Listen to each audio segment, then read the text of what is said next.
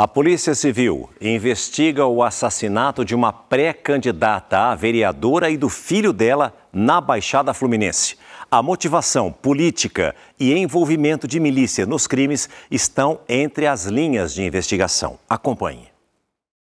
No enterro de mãe e filho, a dor e o silêncio de parentes. Ninguém quis comentar os assassinatos de Juliana Silva, conhecida como Negaju, e de Alexander Gomes, de 27 anos. Juliana era pré-candidata a vereadora de Nova Iguaçu, na Baixada Fluminense. Ela e o filho foram mortos na noite de sábado, em frente a um bar perto de onde moravam. Segundo testemunhas, quatro homens encapuzados saíram de um carro preto e fizeram vários disparos. A região é dominada pela milícia, conhecida por executar criminosos rivais e pessoas que não concordam com as regras impostas pela quadrilha. A polícia, por enquanto, não descarta nenhuma hipótese para os crimes, inclusive que os assassinatos dos dois tenham motivação política. Em Seropédica, cidade vizinha a Nova Iguaçu, Outro caso parecido aconteceu na terça-feira passada.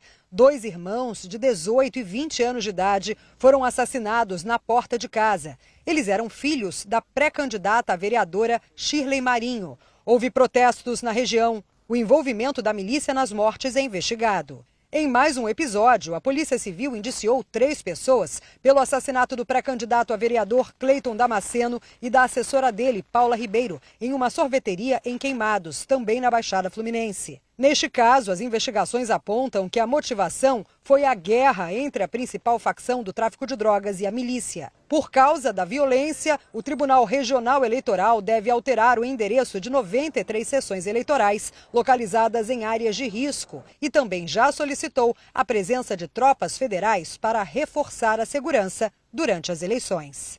A sua fonte segura de informação cada vez mais perto de você.